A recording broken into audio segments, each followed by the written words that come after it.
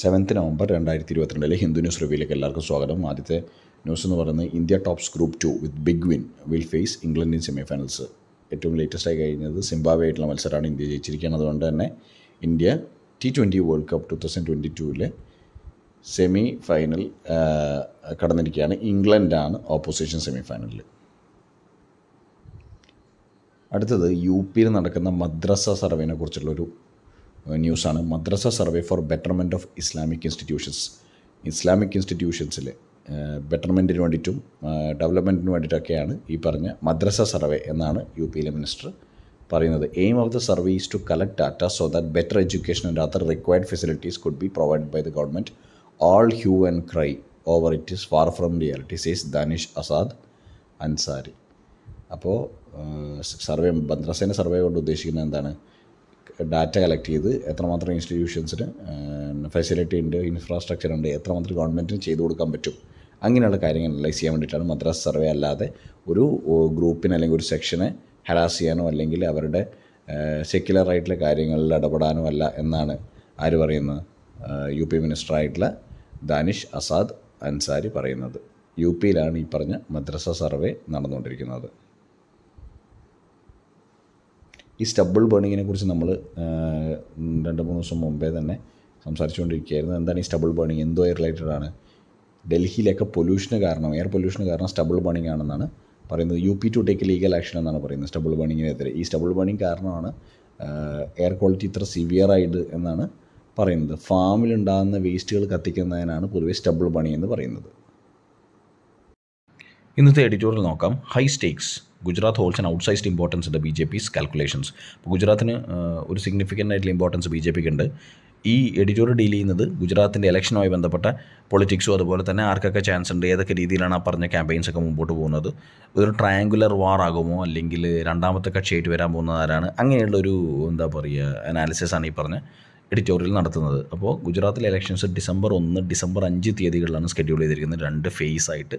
അപ്പോൾ B J പിക്ക് അതിനും importance ഉണ്ട്. കാരണം ഇപ്പോൾ ബി ജെ പിന്റെ പൊളിറ്റിക്സ് മോഡൽ ചെയ്തിരിക്കുന്ന ഗുജറാത്ത് പോലൊരു ഒരു പൊളിറ്റിക്സാണ് ഇപ്പോൾ നാഷണൽ ലെവലിൽ പോലും മോഡൽ ചെയ്തിരിക്കുന്നത്. അതുകൊണ്ട് തന്നെ ഒരു എന്താ പറയുക ബി ജെ പിയുടെ ലോഞ്ച് പാഡ് എന്ന് വിശേഷിപ്പിക്കാവുന്ന ഈ പറഞ്ഞ ഈ ഗുജറാത്തിന്റെ ഇലക്ഷൻസ് വളരെ ഇമ്പോർട്ടന്റ് ആണ്.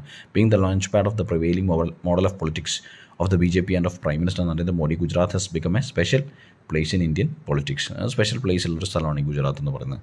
With emergence of A A P Aam Aadmi party as a serious contender for power the assembly election scheduled for December one and five is going to be a triangular one അപ്പോൾ ആം ആദ്മി പാർട്ടിയുടെ ഒരു sudden emergence കാരണം എന്താണ്? അതിനൊരു importance ഉണ്ടാക്കിയിട്ടുണ്ട്. കാരണം ഗുജറാത്തിൽ ഒരു സ്ട്രോങ് ഓപ്പോസിഷനായിട്ട് ആം ആദ്മി പാർട്ടിയാണ് വന്നിരിക്കുന്നത്. രണ്ടായിരത്തി പതിനേഴിന് ശേഷം കോൺഗ്രസ് ഗുജറാത്തിൽ വീക്കെൻ ചെയ്യുകയാണെന്ന് പറയുന്നു. അപ്പോൾ രണ്ടായിരത്തി പതിനേഴ് ഇലക്ഷൻസിൽ ടഫ് കോമ്പറ്റീഷൻ കൊടുത്ത കോൺഗ്രസ് ഈ പറഞ്ഞ ഗുജറാത്തിൽ വീക്കം ചെയ്യുന്ന സമയത്ത് അങ്ങനെ ഒരു പൊളിറ്റിക്കൽ വാക്വം ഫില്ല് ചെയ്യാൻ ആം ആദ്മി പാർട്ടിക്ക് ആവുമോ എന്നതാണ് ചോദ്യം. എന്ത് തന്നെയാണെങ്കിലും ശരി ബി ജെ പിക്ക് ഒരു ക്ലിയർ എഡ്ജുള്ള സ്ഥലമാണ് ഗുജറാത്ത്. അവിടെ ഒരു ട്രയാങ്കുലർ വാർ പ്രതീക്ഷിക്കുകയാണ് ഇത്തവണ. കാരണം Congress B J P Aam Aadmi party compete ചെയ്യുന്ന സമയത്ത്. അതുപോലെ തന്നെ ആം ആദ്മി പാർട്ടീന്റെ കോൺഫിഡൻസ് എന്ന് പറയുന്നത് പഞ്ചാബിൽ അധികാരം പിടിച്ചെടുത്ത ആം ആദ്മി പാർട്ടിക്ക് നല്ല ക്യാമ്പയിനിങ് പ്രോസസ്സാണ് ഗുജറാത്തിൽ നടക്കുന്നത്. ഇതിൽ പെട്ടെന്നൊരു സെറ്റ് ബാക്ക് ബി ജെ പിക്ക് പറ്റിയത് എന്ന് പറയുന്നത് collapse of a suspension bridge in Morbi നമുക്കെല്ലാവർക്കും അറിയാം മോർബിയിൽ സസ്പെൻഷൻ ബ്രിഡ്ജ് കൊളാപ്സ് ചെയ്തിട്ട് ഇതിനിടെയാണ് ഒരുപാട് മരണങ്ങൾ ഉണ്ടായിട്ടുണ്ട്. അത് ഈ പറഞ്ഞ ബി ജെ പിന്റെ ഗവർണൻസ് ട്രാക്ക് റെക്കോർഡിനാണ് മങ്ങലേൽപ്പിച്ചിരിക്കുന്നത്. പൊതുവേ നല്ല ഗവർണൻസ് ട്രാക്ക് റെക്കോർഡുള്ള ബി ജെ പിക്ക് ഇങ്ങനെ ഒരു സസ്പെൻഷൻ ബ്രിഡ്ജ് കൊളാപ്സ് ചെയ്യുന്ന സമയത്ത് അവരുടെ കുറേ ആൾക്കാർ അതിന് അതുമായി ബന്ധപ്പെട്ട് മരിക്കുന്ന സമയത്ത് ആ ഗവർണൻസ് ട്രാക്ക് റെക്കോർഡിനെയാണ് ബാധിക്കുന്നത് മോശമായി ബാധിക്കുന്നത്.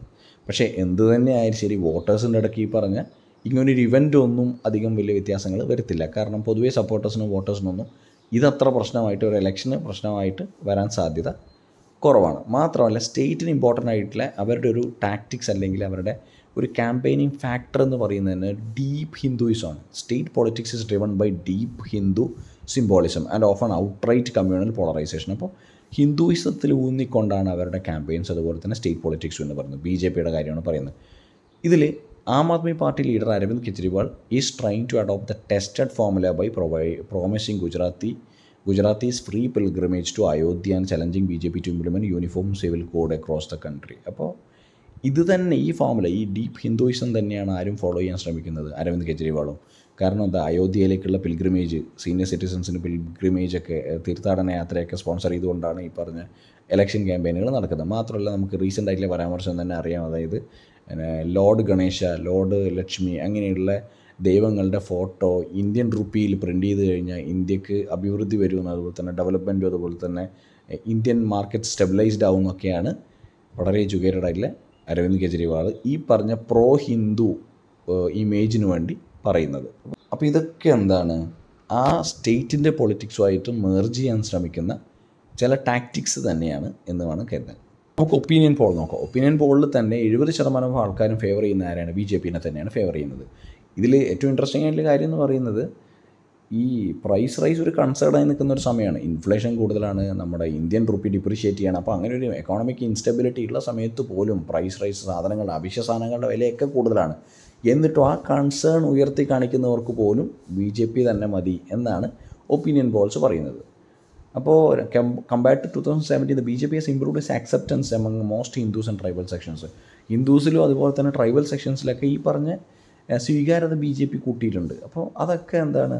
ഈ പറഞ്ഞ ഇലക്ഷൻസിന് ഫേവറബിൾ ആയിട്ടുള്ള ഫാക്ടേഴ്സാണ് ബി ജെ പിക്ക്. മാത്രമല്ല ഇപ്പോൾ ആം ആദ്മി പാർട്ടീന്റെ ഒരു സ്ട്രെങ്തനിങ് നമ്മൾ പറയുന്നു. ആം ആദ്മി പാർട്ടി കോൺഗ്രസിന് കിട്ടേണ്ട വോട്ട്സ് സ്പ്ലിറ്റ് ചെയ്യാനുള്ള പ്രവണത ഉണ്ടാക്കി കഴിഞ്ഞാൽ ബി ജെ പിക്ക് അത് ഈസി ആവുമെന്നും അനാലിസിസ് പറയുന്നു. അപ്പോൾ ഇതിൽ പല രീതിയിലുള്ള കാര്യങ്ങളുണ്ട്. മാത്രമല്ല സെന്ററിലുള്ള പാർട്ടി എന്ന രീതിയിൽ ഒരു സ്റ്റേറ്റിൽ ഡെവലപ്മെന്റ് കൊണ്ടുവരാൻ ആർക്കേ പറ്റുള്ളൂ? ആ പറഞ്ഞ പാർട്ടി പാർട്ടിക്ക് മാത്രമേ പറ്റുള്ളൂ. അപ്പോൾ സെന്ററിൽ ബി ജെ പി വളരെ സ്ട്രോങ് ആയി നിൽക്കുന്ന സമയത്ത് ഓൾറെഡി സ്ട്രോങ് ആയിട്ടുള്ള ഇൻകുംബന്റ് ആയിട്ടുള്ള ബി ജെ പി ഗവൺമെന്റ് ഗുജറാത്തിലുള്ളപ്പോൾ ഓൾറെഡി അതെന്താണ്? അത് ഉറപ്പായിട്ടും ഗ്രോത്തും ഡെവലപ്മെന്റും ട്രിഗർ ചെയ്യും എന്ന് സംശയമില്ല. അത് മാത്രമല്ല ഇൻഫ്രാസ്ട്രക്ചർ പ്രോജക്ട്സ് ഒക്കെ അനൗൺസ് ചെയ്തിട്ടുണ്ട്. രണ്ട് ഇൻഫ്രാസ്ട്രക്ചർ പ്രോജക്ട്സ് അവിടെ അനൗൺസ് ഇൻഡസ്ട്രിയൽ പ്രോജക്ട്സ് അനൗൺസ് ചെയ്തിട്ടുണ്ട്. അതൊക്കെ എന്ത് കാണിക്കുന്നതാണ്?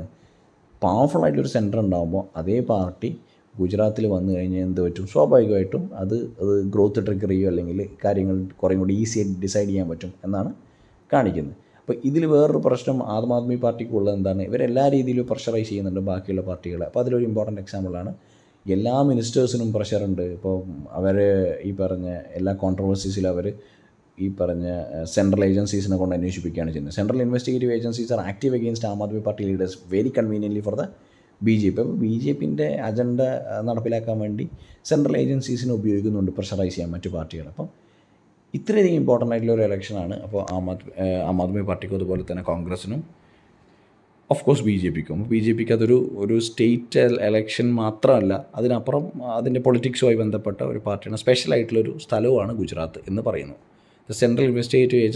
active against Aam Aadmi leaders very conveniently for B J P despite its comfortable position B J P remains restless as stakes are high in B J P's perception it is much more than state election അപ്പോൾ അതൊരു അഭിമാന പ്രശ്നം കൂടിയാണ് B J പിക്ക് എന്നാണ് analysis പറയുന്നത്. നമ്മൾ കണ്ടു തന്നെ അറിയാം എന്തായാലും ഡിസംബർ ഒന്ന് ഡിസംബർ അഞ്ച് തീയതികളിലാണ് ഇലക്ഷൻ നടക്കാൻ പോകുന്നത്. യൂണിഫോം സിവിൽ കോഡിനെ കുറിച്ച് ന്യൂസ് ഉണ്ട്. ആർട്ടിക്കിൾ ഫോർ ഫോർട്ടി ഫോർ ആണ് യൂണിഫോം സിവിൽ കോഡിനെ കുറിച്ച് പ്രതിപാദിക്കുന്ന ആർട്ടിക്കിൾ അപ്പോൾ ഇത് ഫണ്ടമെന്റൽ റൈറ്റ് ആയിട്ട് എടുക്കണോ അല്ല ഡയറക്റ്റീവ് പ്രിൻസിപ്പൾ ആയിട്ട് എടുക്കണം? ഡയറക്റ്റീവ് പ്രിൻസിപ്പിൾസിൽ ഇൻവോൾവ് ചെയ്യുന്ന ആണ് ഇൻക്ലൂഡ് ചെയ്യുന്നതാണ് uniform civil code U C C article forty four അപ്പോൾ ഇതിൽ പറഞ്ഞിരിക്കുന്നത് Gujarat has join list of B J P ruled states that have called for implementing uniform civil code while there is no draft or model document yet for the U C C the framers of the constitution envision that it would be a uniform set of laws that would replace distinct personal laws of each religion അപ്പോൾ എന്താണ്? ഒരുപാട് religions ഉള്ള രാജ്യത്ത് അതൊക്കെ ഒഴിവാക്കിയിട്ട് religious ആയിട്ടുള്ള നിയമങ്ങളെല്ലാം ഒഴിവാക്കിയിട്ട് ഒരു single set of uniform law ഉണ്ടാക്കലാണ് എന്ത് ഉദ്ദേശിക്കുന്നത്? യൂണിഫോം സിവിൽ കോഡ് കൊണ്ട് ഉദ്ദേശിക്കുന്നത്. ആർട്ടിക്കിൾ നാൽപ്പത്തിനാലാണെന്ന് പറഞ്ഞു. ഗുജറാത്തും ഇംപ്ലിമെന്റ് ചെയ്യാൻ ശ്രമിക്കുന്നുണ്ട്. പക്ഷേ ഡ്രാഫ്റ്റ് ആയിട്ടുള്ള മോഡലായിട്ടുള്ള റൂൾസും റെഗുലേഷൻസും ഒന്നും യൂണിഫോം സിവിൽ കോഡുമായി ബന്ധപ്പെട്ട് ഇല്ല. അപ്പോൾ അതാണ് പറയുന്നത്. ഗോവ മാത്രമാണ് യൂണിഫോം സിവിൽ കോഡ് ഇംപ്ലിമെന്റ് ചെയ്തിരിക്കുന്നത്. The clause on U C C generated substantial debate in the constitution assembly about whether it should be included as a fundamental right or directive principle fundamental right ആയിട്ട് അത് include ചെയ്യണം അതോ directive principles ആയിട്ട് വേണോ? പക്ഷേ doctor B R Ambedkar felt that while desirable the U C C should remain purely voluntary in the initial stages ആദ്യ കാലഘട്ടങ്ങളിൽ ഈ യൂണിഫോം സിവിൽ കോഡ് റിലീജിയസ് ആയിട്ടുള്ള നിയമങ്ങളെല്ലാം മാറ്റി നിർത്തിക്കൊണ്ട് ഒരു സ്റ്റേറ്റിലെ എല്ലാ തരം നിയമങ്ങളും ഏകോപിപ്പിച്ച് ഒരു യൂണിഫോ യൂണിഫൈഡ് ആയിട്ടുള്ള നിയമം കൊണ്ടുവരുന്നത് ആദ്യഘട്ടങ്ങളിൽ പ്യുവർലി വോളണ്ടറി ആണെന്നും കാരണം ഇത്രയധികം സെക്യുലറും ഡൈവേഴ്സും ആയിട്ടുള്ള രാജ്യത്ത് അങ്ങനെ എളുപ്പമല്ല അതൊക്കെ ക്വാളിഫൈ ചെയ്യാൻ. അതുകൊണ്ട് തന്നെ ആദ്യത്തെ സ്റ്റേജിൽ പ്യുവർലി വോളണ്ടറി ഒരു നിർബന്ധവും ഇല്ലാത്ത ഒരു കാര്യമായിട്ടും ഈ started that article merely propose that he stated that article merely proposed that the state shall endeavour to secure U C C which means it would not impose it on all citizens അതായത് state ശ്രമിച്ചാലും ആൾക്കാർ സിറ്റിസൺസിൽ എന്താണ് അത് impose ചെയ്യുക അടിച്ചേൽപ്പിക്കാൻ വേണ്ടിയിട്ടുള്ള കാര്യമല്ല എന്ന് B R Ambedkar U C സിനെ കുറിച്ച് പറയുന്നുണ്ട്. അടുത്ത ന്യൂസ് എന്ന് പറയുന്നത് bring back old pension scheme government employees write to cabinet secretary പഴയ പെൻഷൻ സ്കീം തിരിച്ചു കൊണ്ടുവരണം എന്നാണ് പറയുന്നത്. പല സ്റ്റേറ്റുകളിലും അത് തിരിച്ചു കൊണ്ടുവരാനുള്ള എഫേർട്സ് എടുക്കുന്നുണ്ട് അപ്പോൾ അത് വളരെ മോശം സ്കീമാണ് ഈ പറഞ്ഞ പുതിയ നടന്നുകൊണ്ടിരിക്കുന്നത്. എന്താണ് പുതിയ നടന്നുകൊണ്ടിരിക്കുന്ന സ്കീം എന്ന് പറയുന്നത്? പങ്കാളിത്ത പെൻഷനാണ് നാഷണൽ പെൻഷൻ സ്കീമാണ് അപ്പോൾ അത് മാറ്റി പഴയത് കൊണ്ടുവരണം എന്നാണ് പറയുന്നത്. National pension scheme is a disaster for retiring employees as an apex body various government opinions അപ്പോൾ വളരെ മോശം സ്കീമാണ് നാഷണൽ പെൻഷൻ സ്കീം അതുകൊണ്ട് തന്നെ പഴയ ഓൾഡ് പെൻഷൻ സ്കീം കൊണ്ടുവരണം എന്നാണ് പറയുന്നത്. ഭാരത് ജോഡോ യാത്ര ടു എന്റർ മഹാരാഷ്ട്ര ടുഡേ അപ്പോൾ കോൺഗ്രസ് നയിക്കുന്ന അല്ലെങ്കിൽ കോൺഗ്രസിന്റെ രാഹുൽ ഗാന്ധി നയിക്കുന്ന ഭാരത് ജോഡോ യാത്ര മഹാരാഷ്ട്രയിലേക്ക് ഇന്ന് കടക്കുമെന്നാണ് പറയുന്നത്. അപ്പോൾ ഇതിനൊരു ഇമ്പോർട്ടൻസ് എന്ന് പറയുന്നത് ഇപ്പോൾ ഗുജറാത്ത് ഇലക്ഷൻസൊക്കെ നടക്കുന്നതുകൊണ്ട് തന്നെ ഇത് കോൺഗ്രസിനെ റീവൈറ്റലൈസേഷൻ അല്ലെങ്കിൽ റീജുവനേറ്റ് ചെയ്യാൻ പറ്റുമോ എന്നുള്ളതൊരു ഇമ്പോർട്ടന്റ് ആയിട്ടുള്ള ആസ്പെക്റ്റാണ് കാരണം ക്യാമ്പയിനിങ് എല്ലാ സ്ഥലത്തും നടക്കേണ്ടതാണ്. ഒരു ഓപ്പോസിഷൻ വരേണ്ടതാണ്. അപ്പോൾ ഭാരത് ജോഡോ യാത്രയ്ക്ക് അങ്ങനെയുള്ള കാര്യങ്ങളുടെ സിഗ്നിഫിക്കൻസ് ഉണ്ടോ എന്നുള്ളത് ഗുജറാത്ത് പോൾസൊക്കെ കഴിഞ്ഞ് കഴിഞ്ഞാൽ നമുക്ക് മനസ്സിലാവും. ഇനി അടുത്ത സ്പോർട്സ് ന്യൂസാണ് Surya's brilliance shines through as India's hands Zimbabwe a thrashing അപ്പോൾ ഇന്ത്യ സിംബാവെ തോൽപ്പിച്ചിരിക്കുകയാണ്. വളരെ വലിയ വിക്ടറി ആയിരുന്നു അപ്പോൾ ഇന്ത്യ സെമി ഫൈനലിലേക്ക് കടന്നിരിക്കുകയാണ്.